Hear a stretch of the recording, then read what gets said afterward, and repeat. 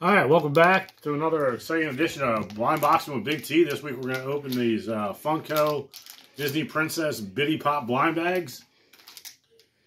Uh, there's uh, there's 12 of them, just a bunch of princesses. We'll see what we got. Um, there's no rare ones or anything, though. It just says 1 to 12 on every one of them. Okay.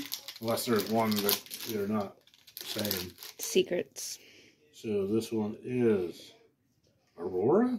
Sleeping Beauty. Okay. There you go. See? Good thing you're here. and second one is drum roll please, and it is Tiana, which is what the frog princess. The Frog Princess.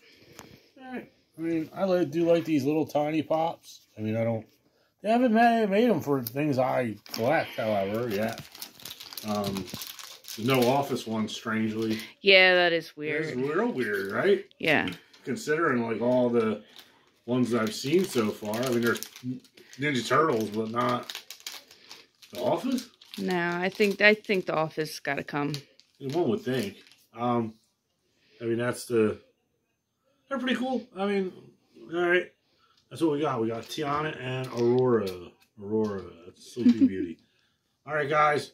Like the videos, like and subscribe. Um, hit the notification bell and let us know and comment. Like, let us know what you guys think or what you want to see. As always, thank you for watching Blind Boxing with Big T, and good night.